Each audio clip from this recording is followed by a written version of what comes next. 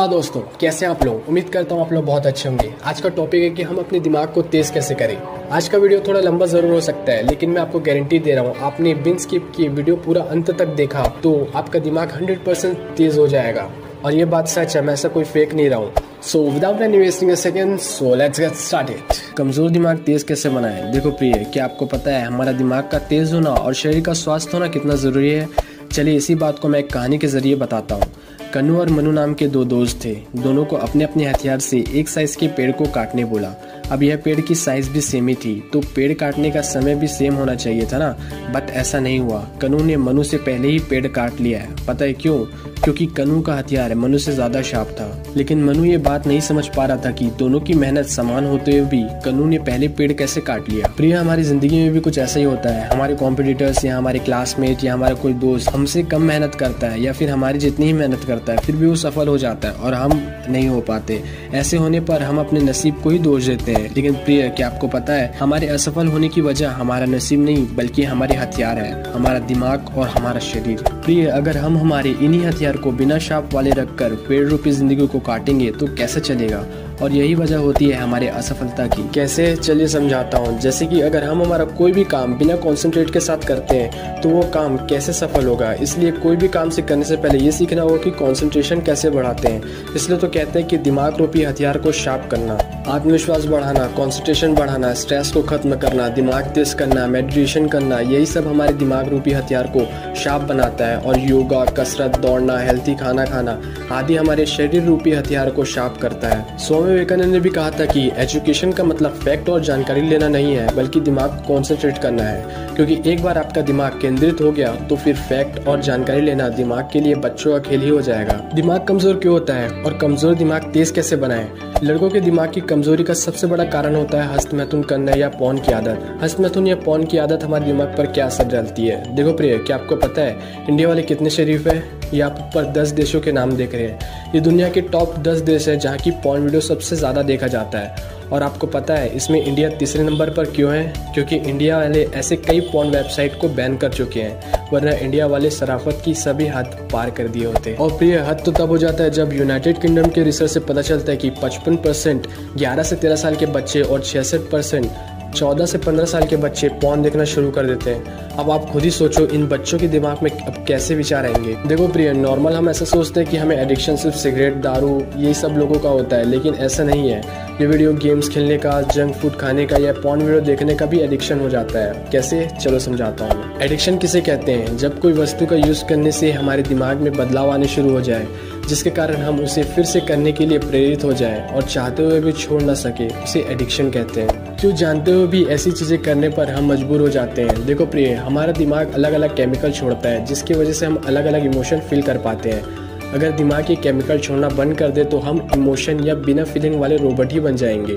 इन chemicals में एक chemical है डोपामिन फ़ूड सेक्सुअल एक्टिविटी या जब हमें अचानक से कोई रिवॉर्ड मिलता है, तब डोपामिन केमिकल रिलीज़ होता है और इस केमिकल के रिलीज़ होते ही कमाल की फीलिंग का एहसास होता है।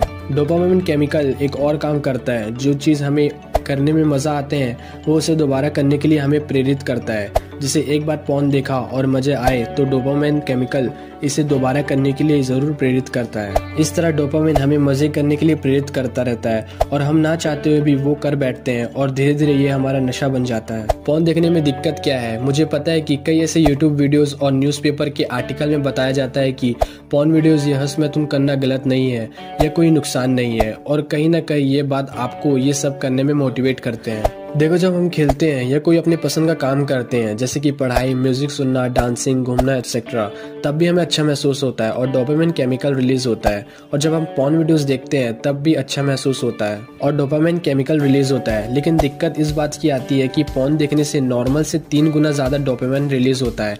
और जब कोई पॉन देखते देखते हंसमेथुन करता है, तब पाँच गुना डोपामिन रिलीज़ होता है। इसलिए ऐसे समय पर अपने आप को काबू नहीं कर पाते इतना सारा डोपामिन रिलीज़ होता है तो दिमाग को कुछ गड़बड़ी लगती लगती है और दिमाग खुद ही डोपामिन और डोपामिन रिसेप्टर कम करने लगता है। इसलिए जिस फ़ोन को देखकर हमें मज़ा आते थे, अब वही बोरिंग लगने लगता है। लेकिन हमें चाहिए होते हैं मज़े। इसलिए पॉन साइट में और अलग अलग कैटेगरी और हिंसक पॉन देखने लगते हैं, ताकि दिमाग ज़्यादा डोपामिन रिलीज़ करे और हमें और मज़ा मिले।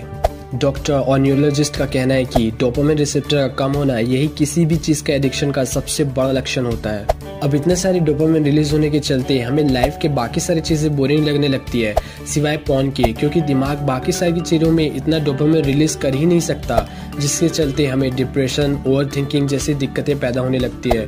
रुको ज़रा, पॉन एडिक्शन का सबसे बड़ा नुकसान तो अभी बाकी है। डोपामिन की इतनी ज़्यादा मात्रा के चलते दिमाग का प्रेफ्रंटल कॉर्टेक्स नाम का हिस्सा कमज़ोर हो जाता है। प्रीफ्रंटल कॉर्टेक्स का काम, सेल्फ कंट्रोल करना, सोचना, कोई डिसीज़न लेना, ये सब होता है। जब दिमाग का यही हिस्सा कमज़ोर हो जाएगा तो आप कैसे अपने आप को कंट्रोल कर सकोगे? और ना ही आप कुछ बड़ा सोच सकोगे मतलब आपकी पूरी लाइफ का कंट्रोल आपके हाथ से निकल जाएगा। अब सेल्फ कंट्रोल खोने के बाद एक छोटी सी चिंगारी भी आपके दिमाग में डोपामिन की आग लगा देगी। जैसे कि अगर यूट्यूब या इंस्टाग्राम पर जरा से भी आप हॉट या सेक्सी पोस्ट देखेंगे तो आप सीधा पॉन साइड पे चले जाएँगे। कैसे पॉन एडिक्शन छोड़े? देखो प्रिय, अगर आप एक पॉन एडिक्ट हो और आपके दिमाग का प्रेफ्रंटल कॉर्टेक्स कमज़ोर हो चुका है तो पॉन एडिक्शन से छुटकारा पाना मुश्किल है, लेकिन नामुमकिन नहीं। मैं से कुछ आपको टिप्स दूँगा, जिसे फॉलो करके आप अपनी किसी भी लत को छोड़ सकते हो। पहला है, अपने दिमाग को रिसेट करो। अपने दिमाग को रिसेट करने के लिए कम से कम आपको एक मंथ हर एक सेक्सुअल एक्टिविटी से दूर रहना होगा। जैसे कि हंस मैथुन पॉन ऐसी बातें या ऐसे चैट नहीं करना है, जिससे आपकी उत्तेजना बढ़ाती हो। ऐसा करने से आप खुद को पाएँगे और जानोगे कि फ़ोन के बिना आप क्या है? और आपका दिमाग पूरी तरह से रिसेट हो जाएगा, जैसे मोबाइल रिसेट होता है। दूसरा है फ़ोन वीडियो डिलीट कर दो। ऐसा करने से आपके दिमाग को ऐसा मैसेज मिलता है कि आप फ़ोन छोड़ने के लिए एकदम सीरियस हो। तीसरा है, अपनी जगह बदलो। मतलब आपका कोई ऐसा प्राइवेट प्लेस है जहाँ आप फ़ोन या मास्टरबेशन करते हो। उस जगह को छोड़ दो। और अगर हो सके तो अपने काम ऐसी ही जगह करो जहाँ फ़ोन या मास्टरबेशन नहीं कर सकते। क्योंकि ज़्यादा बच्चे पढ़ाई करने तो जाते हैं, लेकिन समझ रहे हो ना क्या कर बैठते हैं फिर। एक्सरसाइज करें एक्सरसाइज करने से दिमाग के साथ शरीर भी मज़बूत होता है। वैसे इस एक्सरसाइज के बहुत फ़ायदे हैं, जिसके बारे में फिर कभी बताऊँगा। पांचवा है, बाहर घूमने जाओ। जितना ज़्यादा आप अपने घर पर पड़े रहोगे, उतना ही ज़्यादा चांस होगा कि आप फिर से पॉन या मास्टरबेशन कर बैठोगे। सिक्स क्रिएटिव बनो। जिस समय आप पॉन या मास्टरबेशन करते थे, उस समय को आप अपने मनपसंद क्रिएटिव काम करने में बदल दो, जैसे कि वीडियो एडिटिंग पजल सॉर्ट करना रीडिंग एक्सेट्रा ऐसे करने से एडिक्शन छोड़ने में मदद तो मिलेगी, साथ ही साथ आपके दिमाग की शार्पनेस भी बढ़ेगी। सातवां ध्यान मेडिटेशन मेडिटेशन करने से आप अपनी कोई भी लत को आसानी से छोड़ सकते हो। मैं ध्यान के ऊपर एक वीडियो बना चुका हूँ। उसका लिंक मैं डिस्क्रिप्शन में डाल दूँगा, आप वहाँ से जाके चेक कर सकते हो। मेडिटेशन आपके कमज़ोर दिमाग को बहुत ज़्यादा तेज़ बना देता है। इसके अलावा मैं आपको एक YouTube channel Agnidev R G की वीडियो देखने की सलाह देता हूँ और खास करके तो आचार्य प्रशांत जी की वीडियो ज़रूर देखें। इन आचार्यों की वीडियो देखने से आपका आत्मविश्वास बहुत बढ़ जाएगा और इन दोनों आचार्यों की वीडियो में काफ़ी अच्छा संदेश देखने को मिलता है। मॉडर्न साइंस कहता है कि रोज़ाना एक इंसान को एवरेज सात से आठ घंटा सोना चाहिए, लेकिन कई ऐसे इंटेलिजेंस लोग हैं जो सिर्फ़ और सिर्फ़ तीन से चार घंटे ही सोते थे। जैसे निकोला टेस्ला और एक तरफ़ हम हैं जो कि सात आठ घंटे सोते हैं, लेकिन फिर भी गधे के गधे रहते हैं। इस नाइंसाफ़ी की वजह है डीप स्लीप गहरी नींद का। देखो प्रिय, जब हम गहरी नींद में होते हैं, तब हमारे दिमाग में कुछ पावरफुल हार्मोन रिलीज़ होते हैं, जैसे कि growth hormone dehydroepiandrosterone hormone etcetera देर आपको ये जानना बहुत ज़रूरी है कि एक साइंटिफिक स्टडी के मुताबिक एक सामान्य इंसान के दिमाग में रोज़ाना एवरेज साठ से अस्सी हज़ार विचार आते हैं। अब आप जानकर हैरानी होगी कि इन विचारों का भी कचरा निकलता है। नहीं समझे? चलिए समझाता हूँ। जैसे खाना खाने के बाद, सारे प्रोसेस होने के बाद हम जब कचरा निकालते हैं ठीक इसी तरह दिमाग में हर एक विचार उसका कचरा होता है। जैसे पेट साफ़ करने के लिए शौचालय जाना पड़ता है, ठीक वैसे ही बेटा एलमंड को निकालने के लिए कुंभकर्ण वाली नींद में जाना ज़रूरी होता है। जैसे हमारे शरीर में पेट साफ़ ज़रूरी है, वैसे ही दिमाग में बेटा एलमोड का निकलना बहुत ज़रूरी होता है। ऐसा नहीं है कि गहरी नींद सिर्फ़ कचरा निकालने के लिए होता है। अगर हम गहरी नींद नहीं लेते तो हमारा कॉन्सेंट्रेशन पावर और सीखने की क्षमता बहुत कम हो जाती है, क्योंकि बेकार नींद के कारण दिमाग जानकारी को ठीक से प्रोसेस नहीं कर पाता। देखो प्रिय, हम जो दिन भर देखते हैं या सुनते हैं या जो सोचते हैं, वो दिमाग के एक हिस्से, हिप्पोकम्पस में शॉर्ट टर्म मेमोरी के रूप में सेव होता रहता है। और जब हम सोते हैं, तब रैपिड आई मूवमेंट स्लिप के दौरान, जो भी आपने दिन भर किया है, उसे दिमाग दोबारा से रिपीट करता है। ताकि उसे शॉर्ट टर्म मेमोरी से लॉन्ग टर्म मेमोरी में बदला जा सके। इसलिए प्रिय, आप दिन भर जितने ज़्यादा इन्फॉर्मेशन लेंगे, रात को दिमाग उतनी ही देर लाएगा उस इन्फॉर्मेशन को प्रोसेस करने में। और जितने कम इन्फॉर्मेशन लोगे, उतना ही जल्दी ये प्रोसेस होगी और उतनी ही जल्दी आप गहरी नींद में चले जाओगे और दिमाग अपने बाकी की ज़रूरतें काम करने लगेगा। तो सिंपल सा फंडा है, जितना कम इन्फॉर्मेशन उतनी ही जल्दी गहरी नींद और उतना ही तेज़ दिमाग। अगर आप रात को सोने से पहले अपने जीएफ या बीएफ से जितना बाबू सुना करोगे, उतना ही आपका दिमाग ये फालतू इन्फॉर्मेशन को प्रोसेस करने में अपना टाइम और एनर्जी बर्बाद करता रहेगा। अब ऐसे फालतू कचरे को पालने से नींद भी बेकार आती है और ऊपर से दिमाग कमज़ोरी इसलिए कहा जाता है कि कम देखो कम सुनो और कम सोचो। और गांधी जी के तीन बंदर को तो आप जानते होंगे। प्रिय ऐसे तो कई कारण हैं जो कि आपकी नींद को हराम कर रहे हैं। जैसे कि पहला इलेक्ट्रोमैग्नेटिक रेडिएशन प्रिय आपको क्या पता है कि मोबाइल और मोबाइल टावर से निकलने वाली रेडिएशन आपको कितना नुकसान पहुँचा सकती है? हर मोबाइल के यूज़र मैनुअल में साफ़ साफ़ लिखा होता है कि मोबाइल को अपने शरीर से दूर रखें और आपको अपने मोबाइल को इस रेडिएशन से बचने के लिए कितना दूर रखना चाहिए, वो डिस्टेंस भी लिखा हुआ होता है, लेकिन मोबाइल कंपनी ये सब भूल के नहीं बताता, क्योंकि 2011 के वर्ल्ड हेल्थ ऑर्गेनाइजेशन ने एक रिपोर्ट पब्लिश किया था, जिसमें बताया गया था कि मोबाइल या मोबाइल टावर से निकले हुए रेडिएशन दिमाग में ग्लूमो कैंसर हो सकता है। इसलिए जब बाबू सोना मोना करने के मन करे तो हैंड सफरी का इस्तेमाल करें, क्योंकि लाउड स्पीकर का इस्तेमाल तो आप करेंगे ही नहीं। स्टूडेंट पर हुई एक स्टडी के मुताबिक, जिस स्टूडेंट के आसपास रात को मोबाइल या वाईफाई राउटर था, वो स्टूडेंट अगले दिन एग्ज़ाम में ठीक से कॉन्सेंट्रेट नहीं कर सके। स्लिप पोजीशन स्लिप पोजीशन आपको नॉर्मल लग सकता है, लेकिन ये बहुत इफ़ेक्टिव है। सुपाइन पोजीशन या प्रोन पोजीशन में सोने से आपका दिमाग लिम्फेटिक सिस्टम तेज़ी से काम करता है। ये वही सिस्टम है जो आपके दिमाग में कचरा निकालता है और लेफ़्ट साइड सोने से हमारे जठर में बनने वाले एसिड का संतुलन बना रहता है और जठर में फ़ूड का सही तरीके से पाचन होता रहता है। प्रिय, मैंने आपको पहले ही बताया था कि आज के मॉडर्न साइंस से भी आगे हमारे शास्त्र हैं, जो हमेशा सही भी साबित हुए हैं। अब मैं आपको ऐसे श्लोक बताऊँगा जो विज्ञान के आने के कई साल पहले ही लिखा गया था। उदक शिरा न सुपेद तथा प्रत्येक शिरा न चा, प्राग शिरास्तु सुपेद विद्वान अथवा दक्षिण सिरा इस श्लोक में साफ़ साफ़ लिखा है कि विद्वान लोगों को कभी भी अपना सर उत्तर या पश्चिम दिशा में रखकर नहीं सोना चाहिए। चलिए देखते हैं ऐसा क्यों कहा गया है। उत्तर दिशा में सर रखकर सोने से दिमाग कमज़ोर होता है। प्रिय, क्या आपके दिमाग में यह सवाल आया है कि हमारा हार्ट ऊपर की ओर क्यों नहीं है? मतलब हमारे शरीर के बीच में या शरीर के नीचे वाले हिस्से में क्यों नहीं है? इस सवाल का जवाब भी मेरे पास है। देखो प्रिय, हम सबको पता है कि हमारे दिल का काम खून को शरीर के अलग अलग हिस्सों तक पहुंचाना है, न कि इश्क लड़ाना। और ये भी पता होगा कि गुरुत्वाकर्षण बल हर चीज़ को नीचे की ओर खींचता है।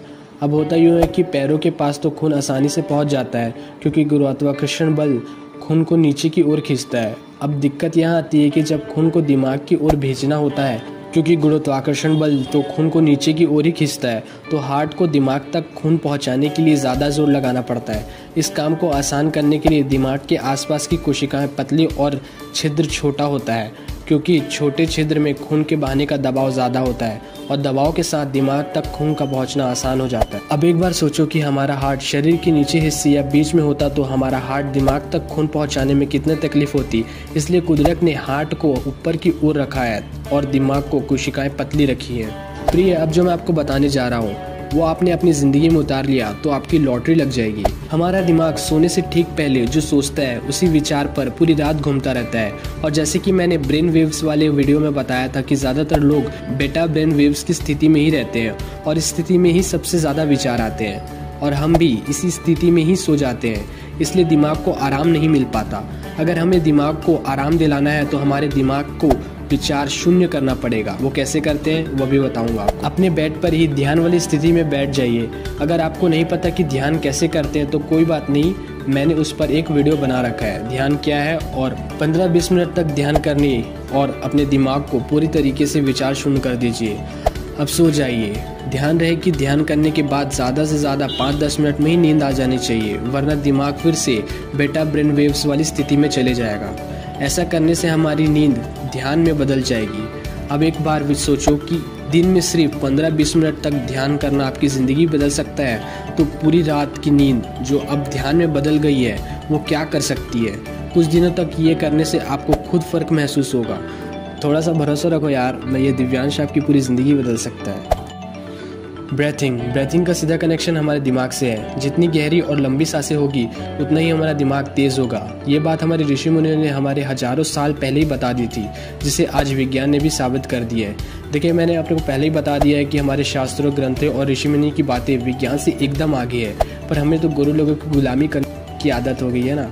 देखो प्रिय, जब हम सांस लेते हैं, तब दिमाग के ऐसे हिस्से लोकस कॉरिडोरस की एक्टिवेशन बढ़ जाती है।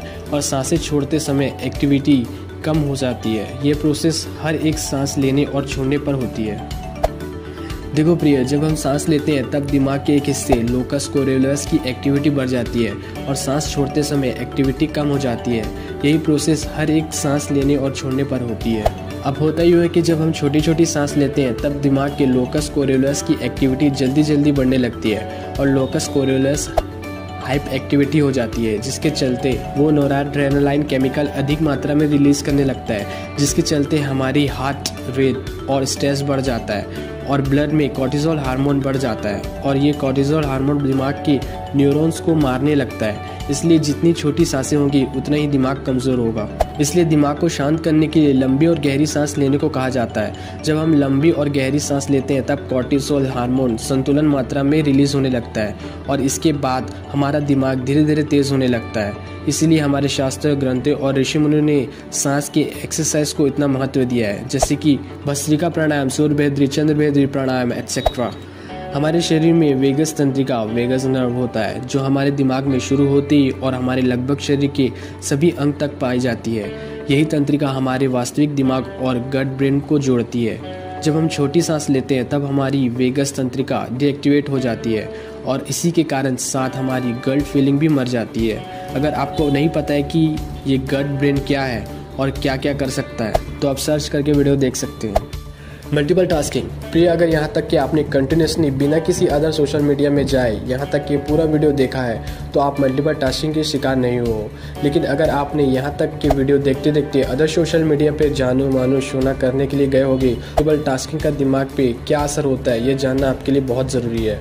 हम सबको पता है कि आजकल मल्टीपल टास्किंग एकदम आम हो गया है, जिसकी खाते समय टीवी देखना, पढ़ाई करते समय बार बार मोबाइल चेक करना, इन छोटी छोटी बातों का हमारे दिमाग पर क्या असर होता है, ये जानकर आपके रिएक्शन कुछ ऐसा ही होगा। क्या आपको पता है कि एक छोटा सा डिस्टर्बेंस हमारे दिमाग पर क्या असर होता है? देखो, जब हम मन लगाकर पढ़ाई कर रहे होते हैं, तभी किसी का मैसेज आता है और आप उसका रिप्लाई करते हैं और फिर से पढ़ाई करने के लिए बैठ जाते हैं। तब इस छोटे से डिस्टर्बेंस के कारण फिर से पढ़ाई पर ध्यान केंद्रित करने के लिए हमारे दिमाग को 30 मिनट 15 सेकंड का समय लगता है। एक साइंटिफिक स्टडी के मुताबिक, जो लोग एक ही समय पर एक से ज़्यादा काम करते हैं, उनके दिमाग के न्यूरल्स जल्दी जल्दी मरने लगते हैं और यही वजह होता है कि हम पढ़ाई में एक बार सवाल के जवाब याद रखने के बाद भी कुछ दिनों के बाद भूल जाते हैं। मल्टीपल टास्किंग दिमाग के आईको ऑप्शन को भी 15 पॉइंट तक गिरा देता है। इसका मतलब मल्टीपल टास्किंग दिमाग को कमज़ोर करने के साथ साथ बेवकूफ़ भी बना देता है। तो आज ही शपथ लो कि जब भी मैं शौच करने जाऊँगा, तब मोबाइल के बिना ही जाऊँगा।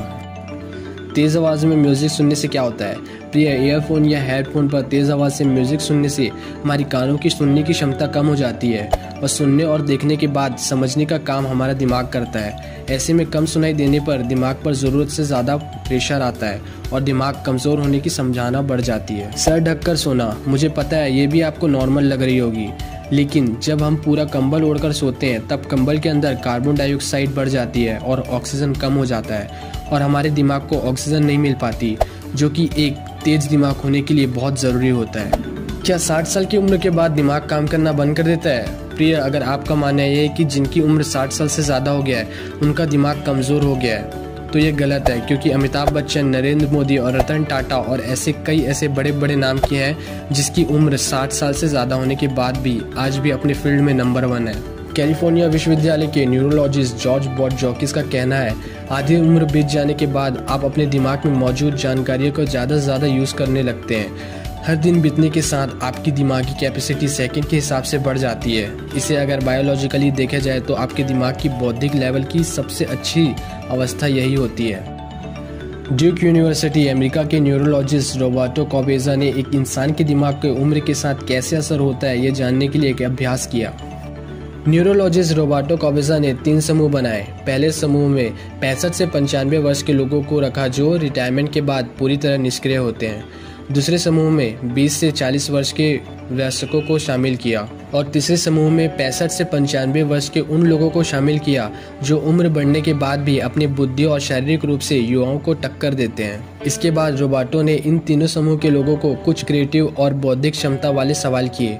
आपको यकीन नहीं होगा कि इन सवालों का सबसे अच्छे तरीके से जवाब तीसरे समूह के लोगों ने दिया, जिसमें से पंचानवे और पैंसठ वाले लोग शामिल थे। जो उम्र बढ़ने के साथ ही दिमाग के बराबर यूज़ करते थे। इन अभ्यास से ये साबित हो गया है कि 60 साल की उम्र के बाद भी अगर दिमाग का इस्तेमाल सही तरीके से करते हैं तो दिमाग और तेज़ी से काम करने लगता है। तो इससे साफ़ होता है कि दिमाग का उम्र बढ़ने के साथ कोई कनेक्शन नहीं है। सिंपल सा फंडा है। अपने हथियार को जितना घिसोगे, वो उतना ही ज़्यादा शार्प होगा। आई होप कि आपको आपके सवाल कमज़ोर दिमाग को तेज़ कैसे बनाए का जवाब मिल गया होगा। अगर वीडियो थोड़ा सा भी अच्छा लगा होगा तो लाइक करके हमें मोटिवेशन करिए और कमेंट करके बताएँ कि वीडियो कैसा लगा। और ऐसे ही नॉलेजेबल वीडियो देखने के लिए हमारे चैनल ब्रह्मचर्य आरोत को सब्सक्राइब कर देना। इसमें मैं देसी फिटनेस की वीडियो भी डालता रहता हूँ। तो मिलते हैं नेक्स्ट वीडियो में। तब तक लिए अपना ख्याल रखना। Take care Radhe Radhe